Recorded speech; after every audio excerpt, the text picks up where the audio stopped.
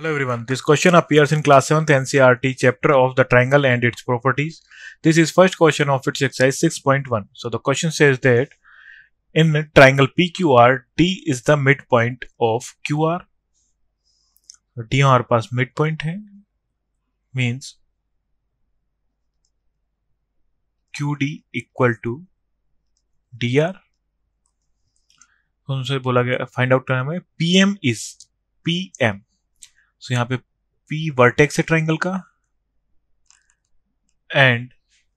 सो triangle के एक vertex से उसके अपोजिट साइड पे डाला गया परपेंडिकुलर कहलाता है हमारा अल्टीट्यूड हो जाएगा altitude and P D is so D is the mid point of Q R so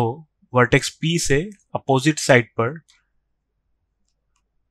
P से अपोजिट साइड पर हम एक लाइन ड्रॉ करते हैं, जो अपोजिट लाइन को टू इक्वल पार्ट्स में डिवाइड करे, उसे हम बोलते हैं मीडियन हो जाएगा हमारे पास P D is a median in triangle P Q R is Q M equal to M R so Q M and M R so D mid point है क्यू आर क्यू आर का। and m is not the midpoint of qr so qm not equal to mr because of d is the midpoint of qr so pm यहां पे altitude हो जाएगा